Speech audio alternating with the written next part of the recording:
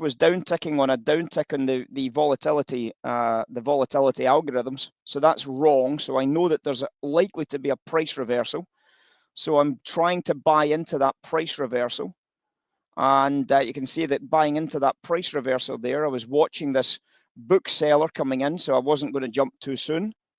And then the, the bookseller started to diverge at the lows there was they weren't bringing any stops in at all. The gamma turned around, the the uh, the uh, tick line turned around, and I crossed the spread to get involved, and we managed to swing a quick uh, managed to swing a quick hit profit into that deal.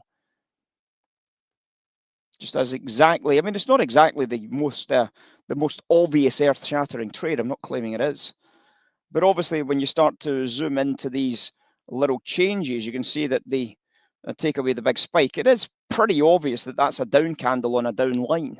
So the volatility algorithms will definitely bid the S&P, or you would imagine the algorithms will try and bid the S&P back up because it, basically it's like an arbitrage trade on a one candle basis, right? It's like uh, the bond equivalent of the, it's like the bonds doing a DV01 adjustment. It's not necessarily a buy trade or a sell trade because there's a big swing in it.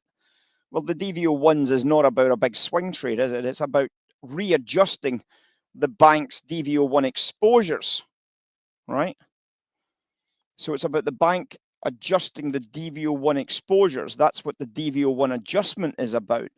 Well, this is the same. It's about them adjusting the volatility exposures on this downtick.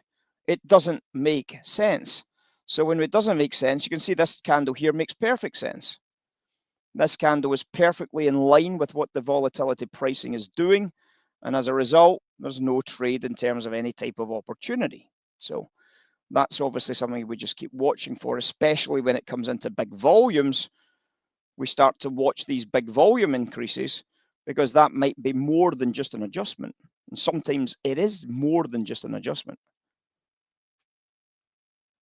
So quite an interesting little, uh, quite an interesting little trade, quite an interesting little uh, kind of idea and uh, we'll we'll see how it, uh, as I said, see how it develops going forward.